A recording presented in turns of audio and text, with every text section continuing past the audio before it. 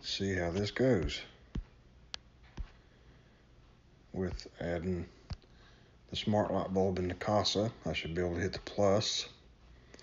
And it's going to be a smart bulb LB100 series.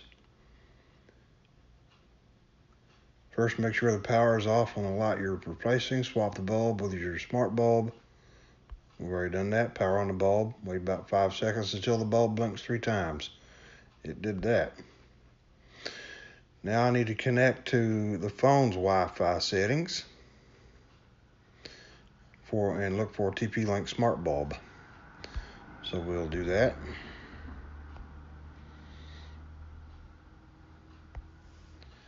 There it is. So we'll connect to it. And there we're connected. So we go back to the uh, Kasa app it says I'm connecting to my device. And we're going to call this desk lamp. Next. Custom icon. We'll give it, um,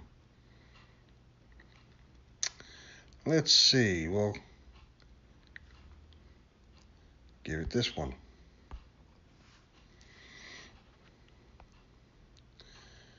And it needs to go onto a 2.4 gigahertz network. And I've already got my password in there.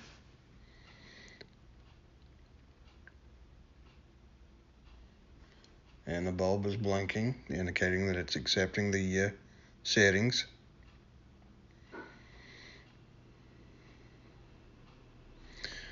Update the firmware.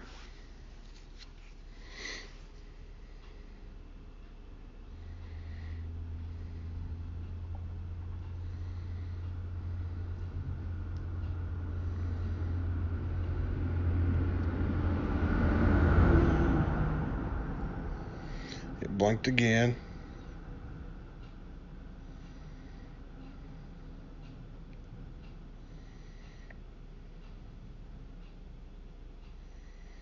And it says it's done. Your smart bulb is all set up and is now saved in your device list. Okay. So now you see I've got one for the living room and one now for my desk lamp. All right, so let's test it and it indeed turns that lamp off. So now let's go and add that to our Google Home. We'll go to the menu, Home Control, and we're going to add a device. We'll go down to TP Link in the list.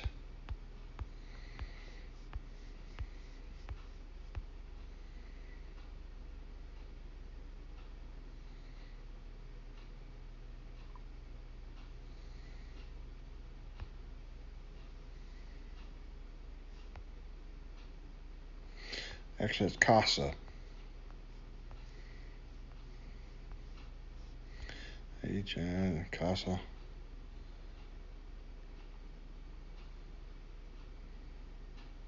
Well, I thought it was Casa. Let's see what I've got already in here.